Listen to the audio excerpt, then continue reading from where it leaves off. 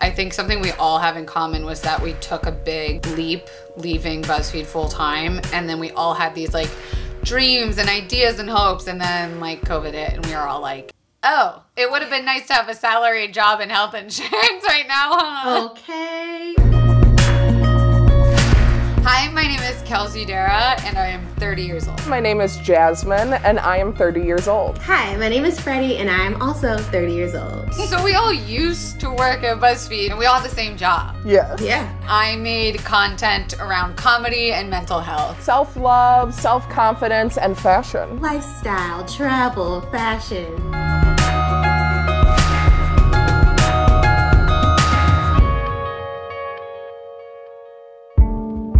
Am currently uh, on the road. I am doing an RV trip cross country, COVID safe during quarantine. I live in Los Angeles, but for the last three months, I've been staying with my parents in Illinois.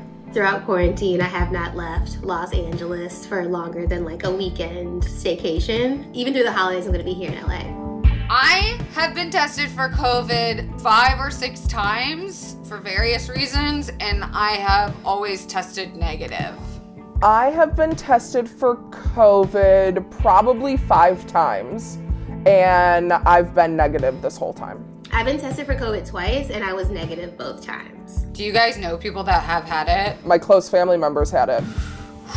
Um, my aunt has it, and it's just, she's also very sick. So it's just not like she's sick already and then got COVID. So it's just like unfortunate.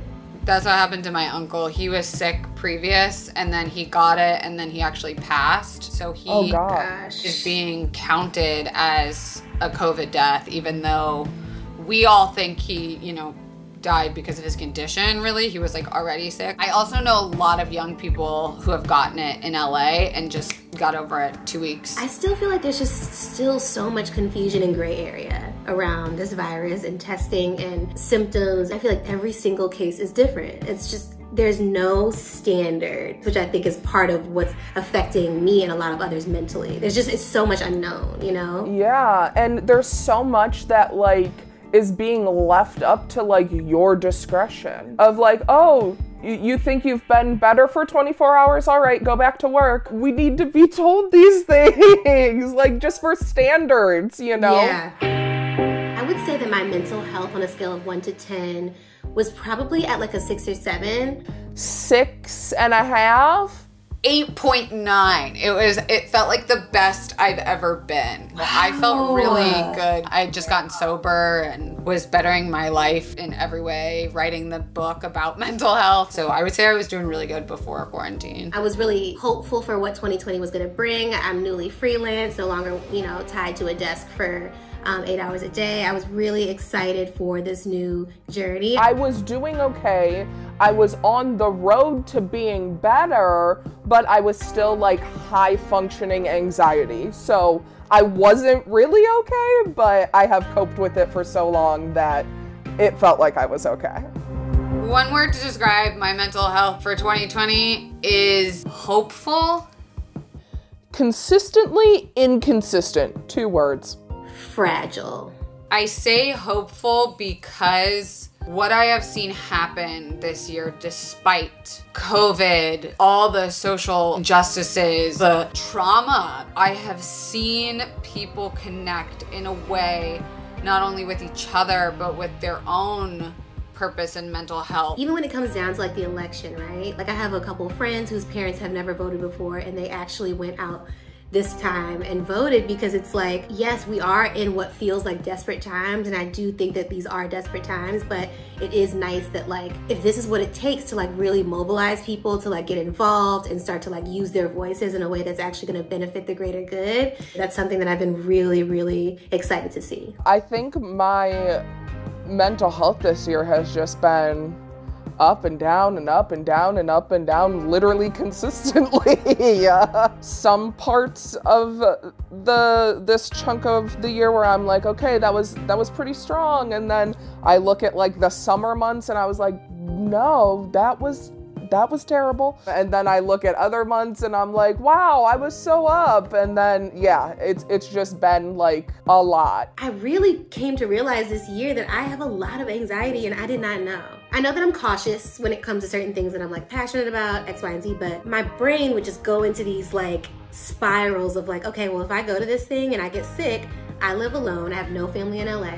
No one can come over because then they would also get sick. So I'm just gonna die alone in my house. It's an irrational uh, thought that is actually really real. The end result of maybe I'm dying alone a year ago, people would be like, oh, you have debilitating anxiety. That doesn't make sense. And it's like now you have debilitating anxiety that completely makes sense and is so valid. sense. Like your strength. Oh, if I could just have like an ounce of that back when I first started to recognize my anxiety, like Thank you. I hope you give yourself that credit too, Freddie, of just like if you've been at your lowest and know that you still fight for yourself, that is very hard to do. That's incredible. I'm very proud of you too. Ah, Thank you, ladies. I love y'all. One word to describe Jazzmyne is fragile.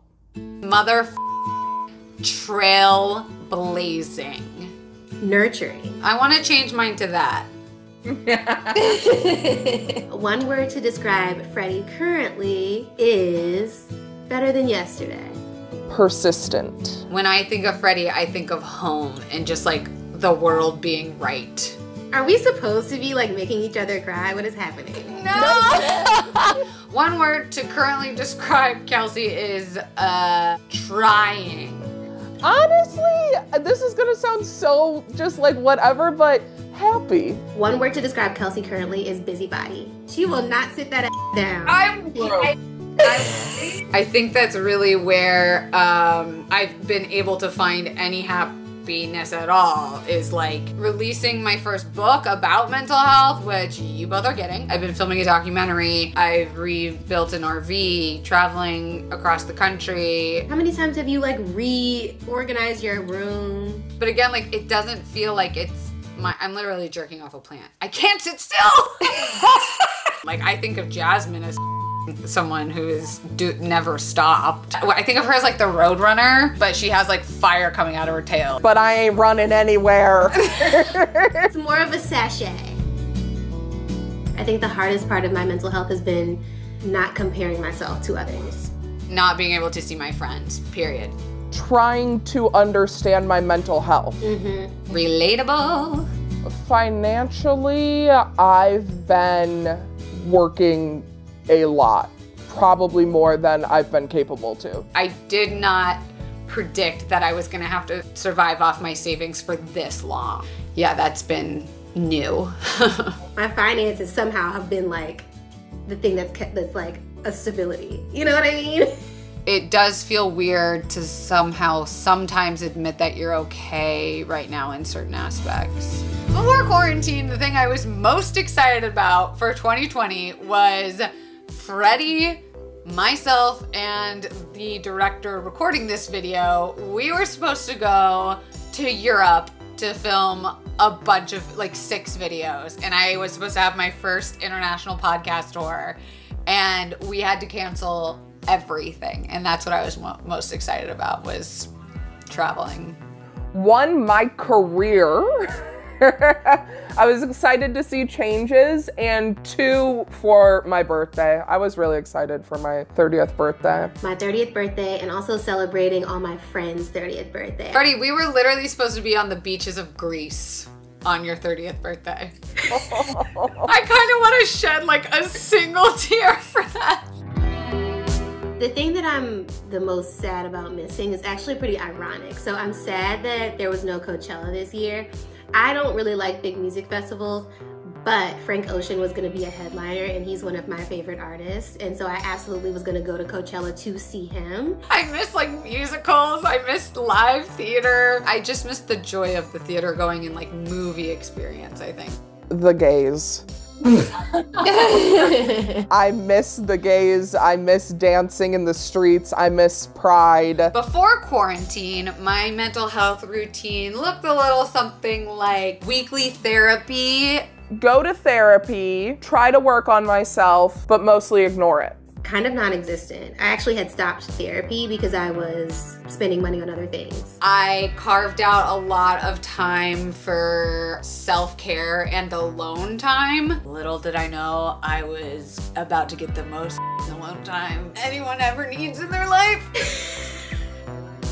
My mental health routine has changed in quarantine. More bike rides. I bought a bike and I go on bike rides, which has been life changing. And then I also got back into therapy. I found a new therapist that I love and I see her every week. I started OCD therapy. I started taking medication and I started going on walks. Maintained my sobriety and I started couples therapy weekly. I am currently in therapy and restarting in 2021 OCD therapy. I am currently in therapy and couples therapy. I'm currently in therapy and I don't plan to stop. All of ours is online, right? Yeah. Yep, it's all virtual. I don't know if I'll ever go back into a psychiatrist's office. At first, I was kind of like, mm, I'd rather like go in person. Now it just feels super normal. It's almost like, wow, we actually used to go into the therapy. It's the parking. I can't deal with it. It's too much. I live with generalized anxiety disorder, panic disorder, and major depressive disorder, ADHD. I've had these diagnoses for most of my life. Yeah. Obsessive compulsive disorder and PTSD. I haven't officially been diagnosed with anything, but I diagnosed myself with being that. and she's sick as shit, y'all. no, I'm just kidding. This is not a joke. I have been in therapy since I was 17 years old. 13 years I have been in consistent therapy. I went to therapy for about a year in high school, for about a year in college. Now I've had therapy for the past two years of my life. I've been in therapy on and off for the past three years, so since 2017.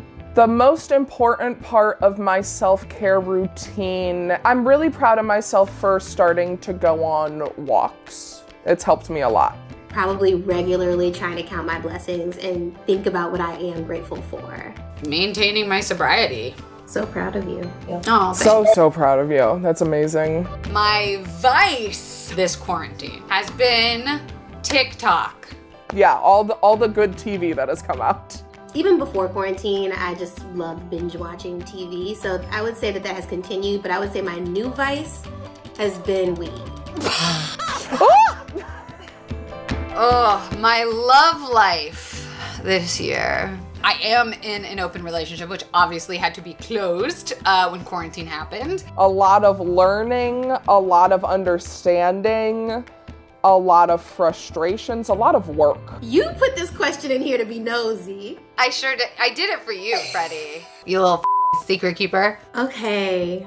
My love relationships in quarantine have been um, diverse few different situations. but I will say it's ending 2020 on a very stable, good note with a young man that I enjoy quite a bit.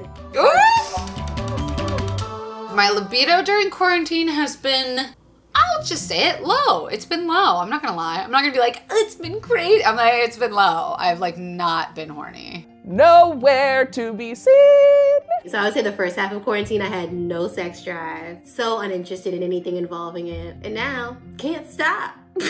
Thank God. We can just like skip the rest of it. That's, that's all I wanted. I, I know with anxiety and uh, with like how high functioning my OCD is, I'm I'm not expecting to like really be all up in my it anyway. My blood is pumping to my heart and my brain for the last eight months. It has it has not gone south, and it is completely normal and fine. And I'm so glad, Jazzmyne. I mean, Freddie, we're thrilled for you and your but like, yeah. What were your libidos like before quarantine? You know oh. me. I'm a all day, every day. It's like hard to get horny when you're laying in bed and that notification pops up that like X amount of people have died today.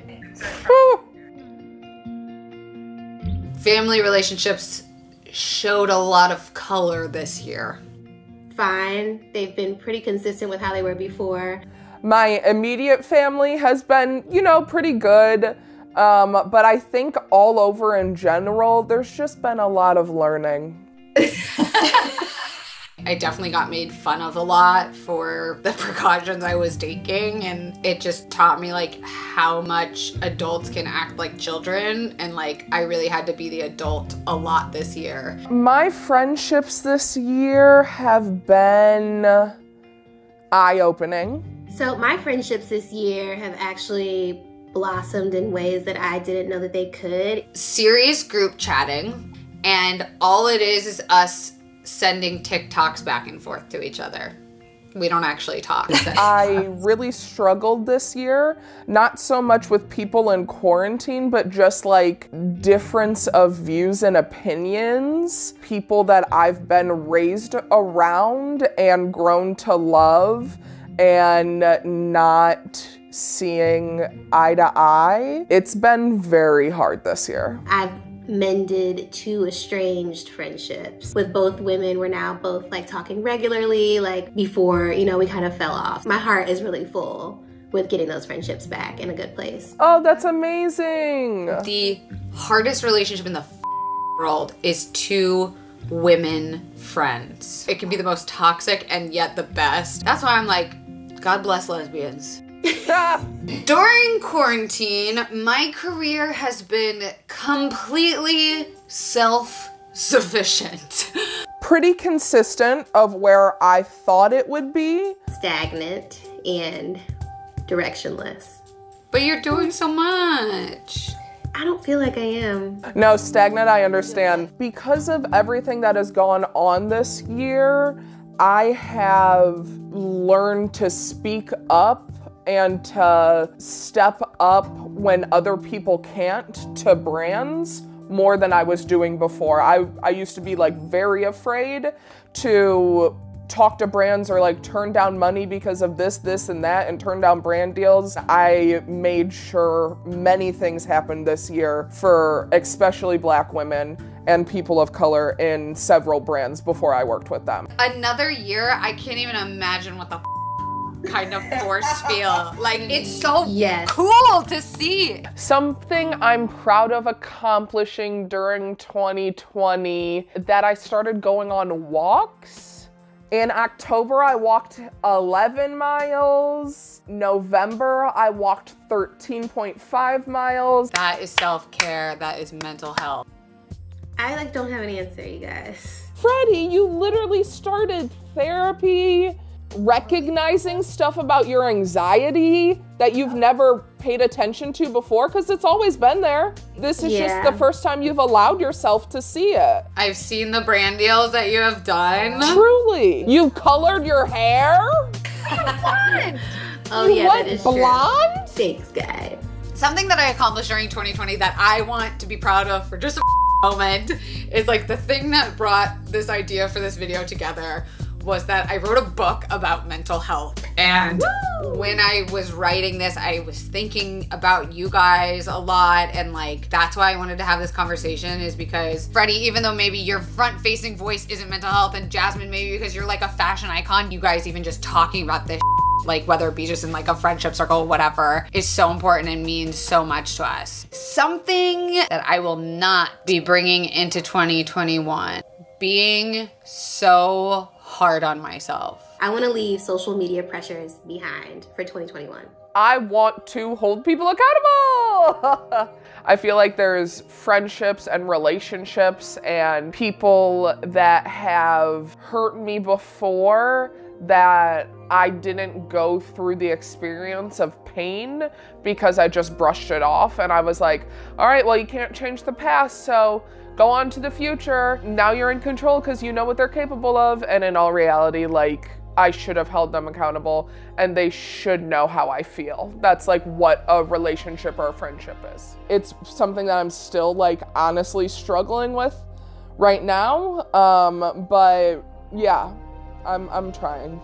You're so in tuned with yourself. Girl. I think I could really take a page from Freddie's book and practice more gratitude and like self gratitude. I think I am my worst enemy, the meanest person I've ever been to myself. And I think this year really was pretty transformative in that I'm like, it's harder to be nice to yourself. It's really easy to be mean to yourself, but mm-hmm. it, it's so much more worth it. So I think 2021 is all really going to be about that inner voice. Yeah. It's hard when I feel like a lot of my bread and butter and a lot of my career lives, it, it thrives and it, it, it's really through social media. But there is a balance that has to be created. And I am always just like a little bit nervous, like, oh, I'm not posting enough, I'm losing followers, X, Y, and Z. I'm taking a break. I'm not posting because my mental cannot handle it right now. So it's okay. Relatable. The thing that I learned in 2020 that I want to bring into 2021 is communication and patience. Like truly listening better. my resiliency and my true self strength.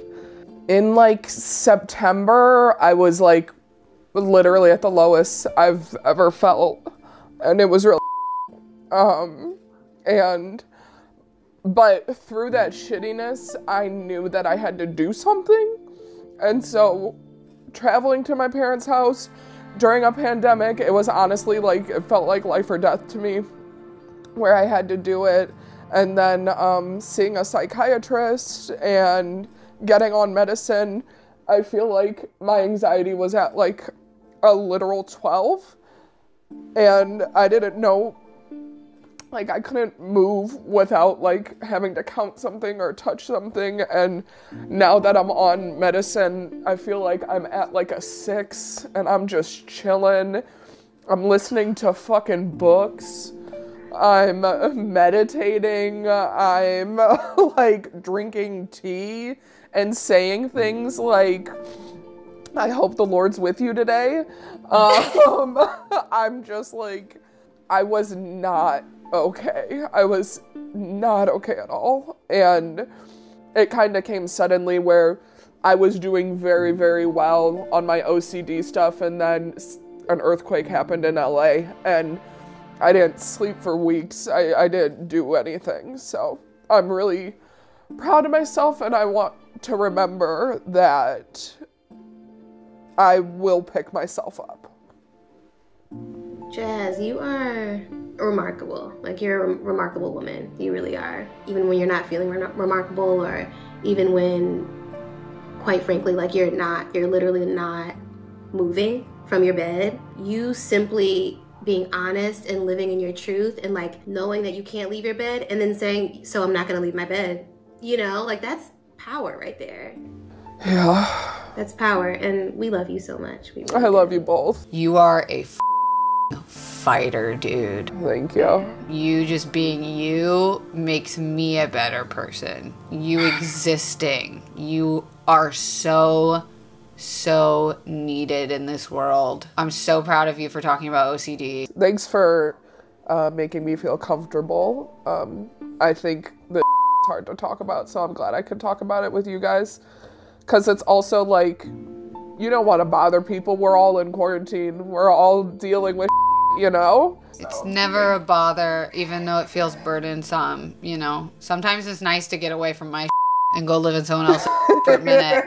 I'm like, what does your taste like? Can I have some? My sucks. Well, thank you to my favorite ladies once again for talking with me. This kind of conversation is so vital about mental health. Even in these times, it is important to really take care of yourself. Kelsey, thank you so much. Can't wait for your book.